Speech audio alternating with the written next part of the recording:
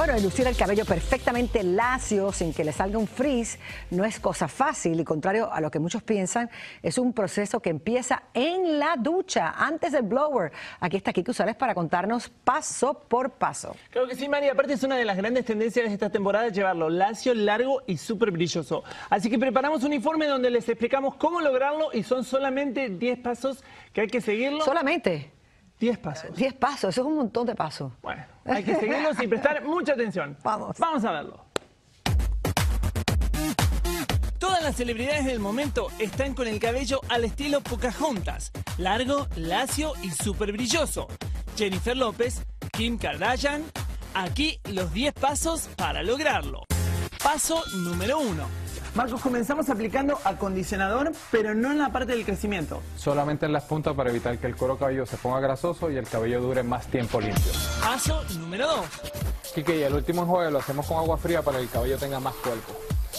Paso número 3. Al terminar de lavarlo, jamás lo seques batiendo el cabello mucho, muy ¿Por fuerte. Porque lo puedes quebrantar, también lo puedes enredar mucho y es más difícil a la hora de desenredarlo y se abre demasiado la cutícula. Ok.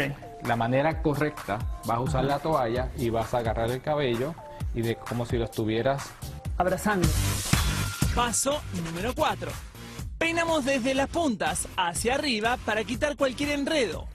Y con el secador en aire caliente y en forma vertical hacia abajo, sacamos un 30% del agua que tiene el cabello. Paso número 5. Aplicamos un protector de calor para no dañar el cabello. Marcos, ¿cómo es el tema de los cepillos? Porque, por ejemplo, tú tienes uno grandote, yo tengo uno mediano y uno pequeño. ¿Cuál debemos utilizar? Bueno, el grande es ideal para las chicas que tienen el cabello bien largo, lo tienen abundante o lo tienen ondulado, este es el ideal. ¿Y estos dos entonces? El mediano lo puedes utilizar cuando las, las chicas tienen el cabello a los hombros y poca cantidad y el pequeño sí es para personas que tengan el cabello bastante corto. Paso número 6. Lo ideal es dividir el cabello en cuatro partes iguales y comenzamos por atrás. Paso número 7. De cada mechón vamos a separar varias capas y si quieres volumen vas a colocar el cepillo por debajo y lo vas a secar de esta manera hacia arriba y hacia afuera para lograr el volumen y si no quieres volumen vas a colocar el cepillo por arriba y lo vas a secar todo en la dirección hacia abajo. Paso número 8. Importantísimo al secar el cabello, tenerlo bien tirante y mover el secador así, hasta llegar a las puntas. Paso número 9. Para que las puntas queden bien, ubicamos el cepillo por debajo del cabello y dejamos que el aire termine de pulirlas por encima del cepillo. Paso número 10. Planchita en 250 grados, aceitito para dar brillo y listo.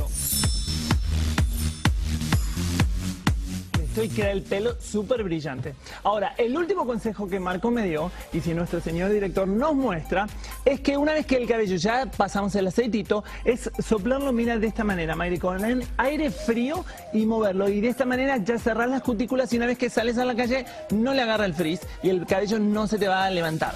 Perfecto. Perfecto, O sea que son súper 11 sellado. pasos. Chévere. 11 pasos. No, pero eran fáciles, tienes razón. Me gustó, aprendí un par de Y cositas. te queda el cabello espectacular. Gracias, Quique. De nada. Esta modelo invitó a miles de hombres a un parque de Nueva York para una cita a través de Tinder, una aplicación para tener encuentros sexuales. Dos días antes les escribí a todos